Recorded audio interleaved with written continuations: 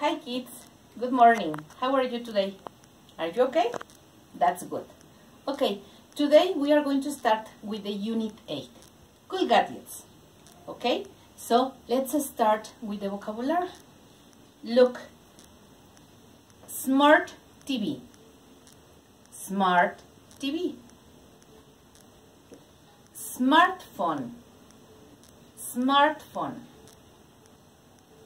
laptop, laptop, camera, camera, drone, drone, home theater, home theater, smartwatch, smartwatch, tablet, tablet, GPS, GPS, headphones, headphones. Right? You got it? Ok chicos, este es nuestro vocabulario de la unidad 8.